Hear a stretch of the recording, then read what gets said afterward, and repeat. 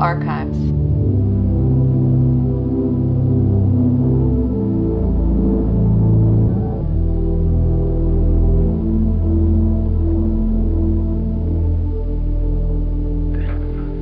My home for the last 25 years has been Carlsbad, New Mexico.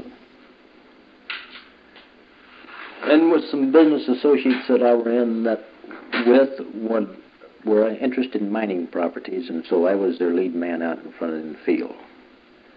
And I had made contacts in Wickenburg, Arizona, with a man that knew this area and told me of the potential of it. And so after dealing with him for several months, I found he was just leading me on, oh, a merry chase to see how much money he could bleed out of me. And the one place that I really believed that he had that was worth investigating was in Goler Canyon. And since I have found that uh, possibly this is right, but it still needs more work done to prove it to a financial business asset. So, in the first week of March of this year, 1969, I came to Goler Canyon and came to the Barker Ranch with the other man that was with me by the name of Bob Barry. Now, he had been in here in this canyon in December of 1968, and he saw all of these girls. And uh, being the type that he was, well, he wanted to come back because he figured that he could come back and have himself a little pleasure at their expense. And so I know at this time that that was his real motive for coming back. But my motive for coming here was to see if I couldn't make this a profitable business adventure. So on the night that I arrived, I met Brooks Poston and Juanita Wildebush, or Joan Wildebush. And uh, they were living in the big house on the ranch. And we talked to them for a while, and uh, then uh, Bob said he would go, and we would go and stay in the cabin that was just to the left of the house as you face the ranch. In the days that followed, I became more acquainted with these people, and every day this Bob Barry and myself would go walking across the hills, and we would go and inspect old mine sites, old diggings. We would bring uh, samples of ore down. We would crush these samples of ore and pan them and check them out for their contents of this yellow metal that we were looking for called gold. And in the meantime, Bob's attentions were becoming more directed at this Juanita Wildebush. But at first he thought she was the most stupid woman that he had ever met in his life, that she was completely ignorant, she didn't have any sense whatsoever. In a sense, he had developed what might be called a hate for her. And uh, being that I had been watching human nature for many years, I figured that this was one way that he was tying himself up that he didn't even realize what he was doing. But I figured if that's what he wanted to do, that was his business. So I would go with him over the mountains, and the first three weeks we were there, I would surmise that we had walked approximately 250 or 300 miles over the hills of Goler Canyon, back down into Wingate Wash, over into Panamint Range, back down on the other side, on the other side to what is called the January Jones Mines, which is a very difficult place to go. We went to a place called the Crescent Mine, the Panamint Queen. I had gone through all of the workings of all the hills around there, and it's impressive to see the amount of work that has been done in this area. As the time went on, we began to filter out the places that seemed possible good prospects and those that weren't. And we finally settled down to some places that uh, looked like were pretty good, and so we went to work carrying ore down the mountains to run sample tests and all of this. And some of it looked good, some of it didn't look too good, and we kept working and working and working. In the meantime, when we would come in the evenings, Brooks and Juanita, we would sit in the evenings and talk, and we began to learn and hear about Charlie. And I couldn't believe what they were saying. I mean, it was uh, so utterly ridiculous that uh, I thought they were just talking. I thought they were nuts. That uh, no man could possibly be doing the things that he was talking about. And so I paid very little of attention to it. So they seemed so afraid of this Charlie that I implanted him with the idea that I had the power to keep Charlie from coming back up there. And so they accepted this idea. And so poor old Charlie, later on in his ventures, tried to come back every time he would try to come up there. So he told me later that uh, he would try to come and the truck would blow up and wouldn't go, or the police would stop him and arrest him. And uh, it was all my fault that I was some kind of a big deity sitting up on the hill that was trying to keep him from doing what he had to do for all the people of the world, and that I was in his way. And uh, we had one boy named Paul Watkins that had gone to town a couple of times, and he had told Charlie this, and so Charlie didn't know who I was, but he had heard of me. And so I was already a threat to him. And so this is one of the reasons why he wanted to kill me, because I was in his way. And in the meantime, as we went along, I got Brooks to go and work with me to get him out of the lethargy state, as I call it, that he was in, to get him to climb mountains, to do things, to build his physical body back up to where that he could be a man again. And then one of the other boys came, this Paul Watkins came, and he decided to quit Charlie and come and go with me too, because it was that I made more sense to them than he did, and I could explain to them what Charlie was doing. That it was ridiculous, it was idiotic, that it had no value whatsoever to them. And so by this time, I had already stolen Charlie's top man, or one of his men, that he considered one of his good men because he was able to participate better than anybody else in the sex act. And so he didn't like this at all. I had stolen this Paul Watkins because he was supposed to be a good fucker, as the word was put around. I had stolen Brooks Poston, and then later on, another one of the guys that he'd been trying to capture came up, and he wanted to know if he could stay with me too because he didn't have any place to go because they had busted by this time they had busted Spahn's ranch. And so by this time I had stolen from him in his mind three of his men. And so he was very angry with me. He had never seen me. He didn't know who I was. But I must be some kind of big medicine because people were leaving him to go with me, more or less to speak. And so I was using these men to pack ore off of the mountain. And the guy that was bringing me supplies was bringing extra supplies so I could feed them. And so his first idea when he came to the top of what is called Goler Wash or to the Barker Ranch, his, he told me a few days later that, uh, did you know that I had planned to kill you? And I said, yes, I knew you'd planned to kill me because of the way you acted.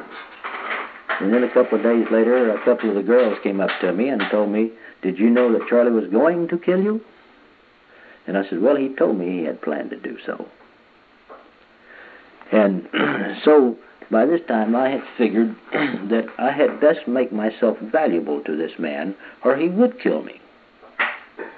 So he wanted to know how it was that I got Brooks and Paul and Juan to quit him and to go with me because he knew that he had the power to get people to do anything that he wanted to once he got them. But what he was more interested in was how did I get undo what he had already done to them.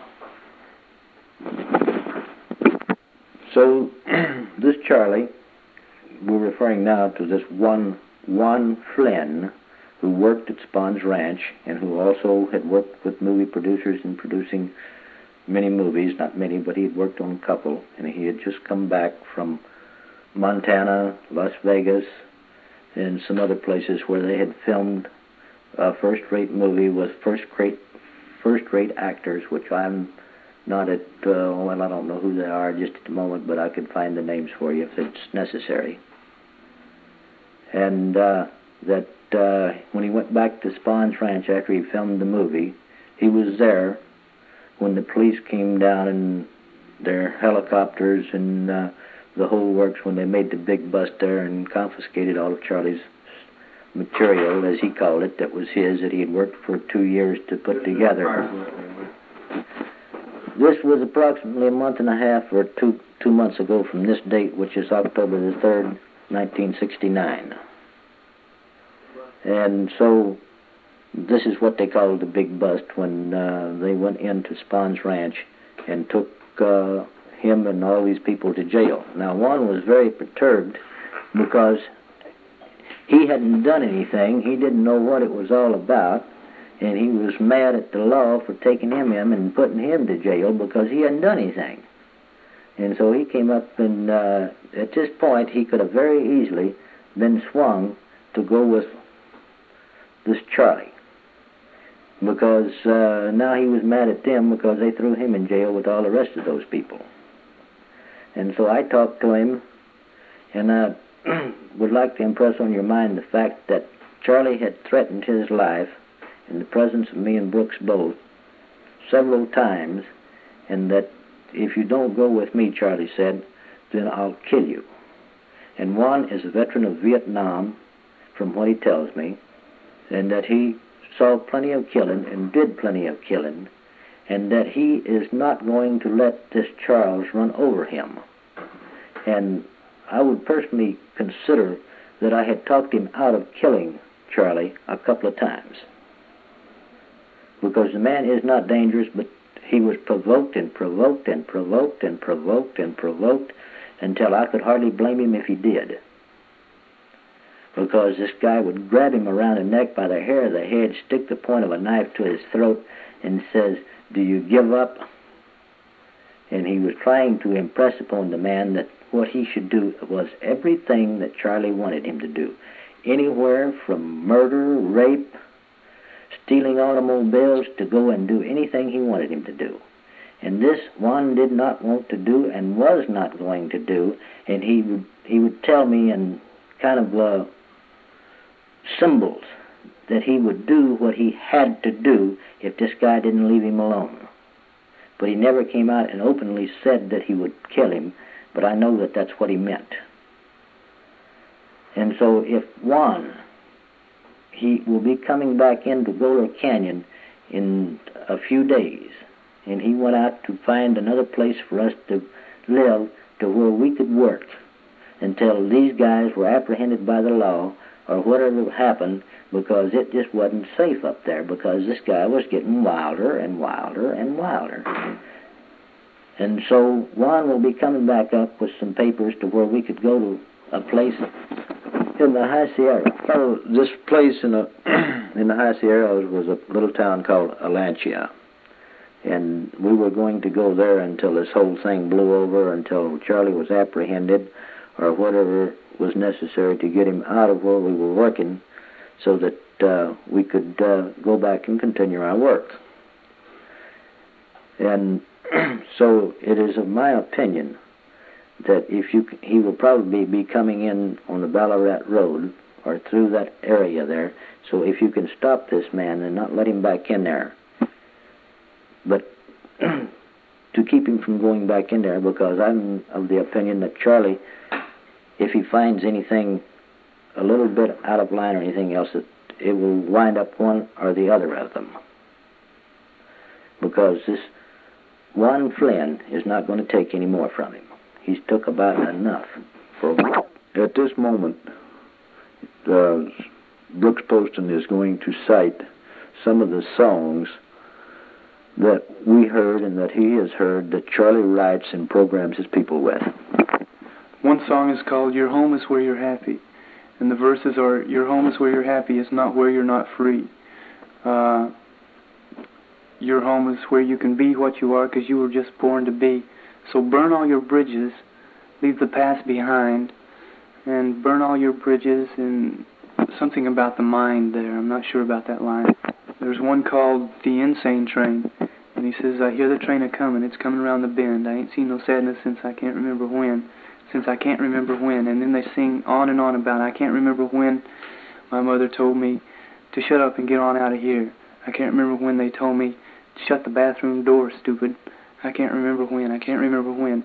I can't remember as part of the program that he uses or what he says is a program. That he says unprograms what you've already been computed. One of the songs has a line in it about the only thing you know is what they've told you, the only thing you know is what they said. And the only thing you know is what they've told you that all that was true and real was dead. And several other lines that follow that that lead you to think that he's the one that can, the only one that can show you the way out of all the games, as he calls it. He has one song that he's written for motorcycle people that tell him to ride and hide away on the desert, like the wind you to ride, with his hair long and flowing, and it goes on and on about hiding on the desert, and he wants to get people to hide out there. And he's tried to get people to promote his records, but so far he's been unable to get anyone to produce them and put them on the market. As far as I know, from what he said, he wants to use the dune buggies he has and at one time I hear he had a machine gun and he wanted to use them in a Rommel, Erich Rommel type venture. And he said Hitler was a tuned in guy like himself and that he saw the truth and he leveled the karma of a lot of people. Karma is what he calls uh, sin or something like that. I guess he equates it with sin. Now, I've just completed talking to you about uh, this one Juan Flynn. Now he's about six foot five or six foot six. He's a tall, blonde-headed man. He came from Panama, and he's uh, got the most beautiful body on him that you've ever seen. I mean, he's physically perfect. If you've ever seen a physically perfect man, I think you would agree that at least he's a nice-looking man, and he has light hair and uh, blue eyes and he's uh, Castilian Spanish. And so, coming in this Ballarat way, if you can keep him out of there, I think it would be well worth your time and ours too. Now, there's one other man. His name is Paul Watkins. Now, evidently, he was going to come back by the Warm Springs Road. And so I would appreciate it if you could keep him from going in too, because he doesn't know that we have left. And neither does the one Flynn know that we have left. So if you can keep him out of this, I think that it would be better for all concerned because they have already expressed their desires and their wishes to be completely separate from Charles Manson or whatever his name is because they have been able to see that he is nuts, he's crazy as a loon, and that this is my personal opinion, but I think that from all the tapes that we are making here, that there should be some substantiation to what we say. And so at this time I'll change the subject to another subject called uh, armament and his relation to it and what he has talked about doing. Now, whether he has done it or not, I don't know. But he's talked about having dune squads or dune buggy squads in the desert to where he could plant dune buggies every 10 or 15 miles over Death Valley so that when you guys come in after him that all he has to do is to walk over a hill or a ridge or then three or four miles to another location where he has food stashed out, water stashed out, gasoline stashed out. He has one wing tank off of an airplane, which is a 300 gallon gas tank.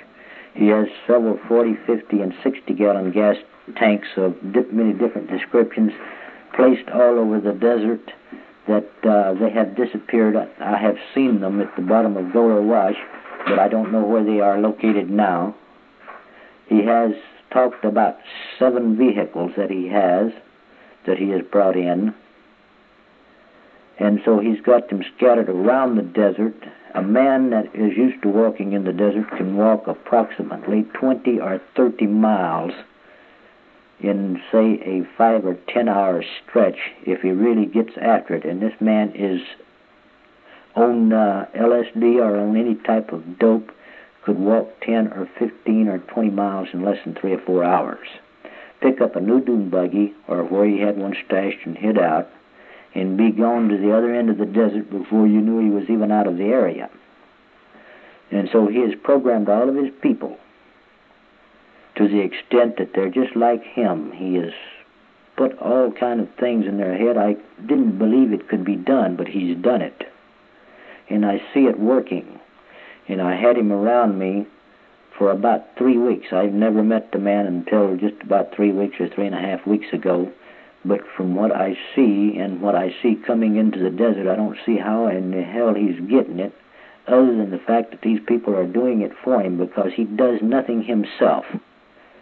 He doesn't do anything that could pin anything on him. So the only way we can stop this man is to be able to catch him in a vehicle that he is driving that is hot, or do, or catch him in some situation to where he has become deadly, or something like that, because he is a very clever man. He borders on genius, and yet he's so idiotic it's it's ridiculous.